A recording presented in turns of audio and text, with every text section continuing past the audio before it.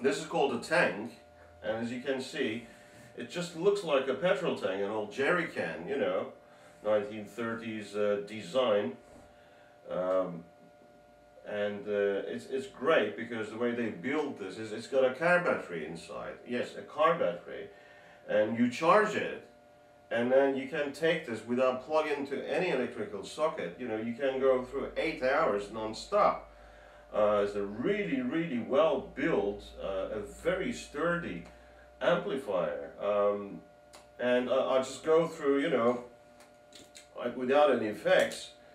I'll, I'll just strum a chord for you.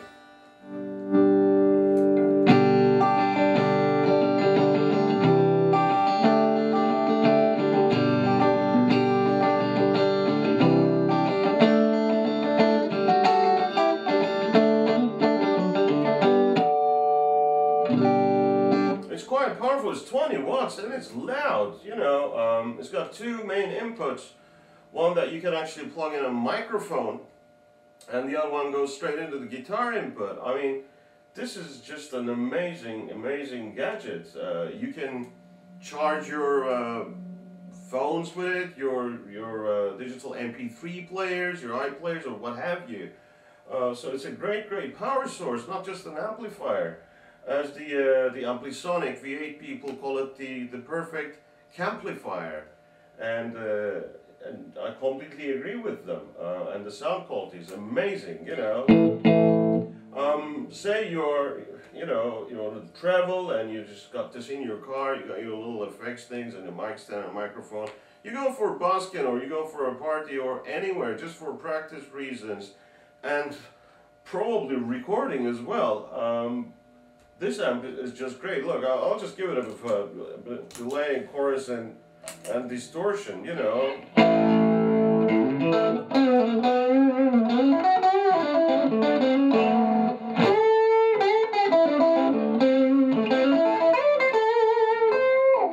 You know, it's, it's just fantastic. I mean, I could play any any sort of.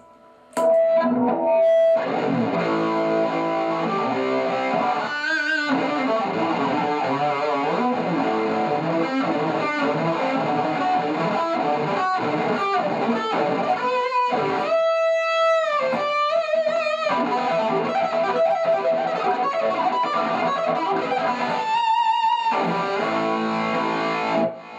quite a powerful amplifier. The sound that you get out of it is full 20 watts. You know, uh, so it's worth checking this this this amazing gadget out. It's called the Tank, and it's done by V8 amps again.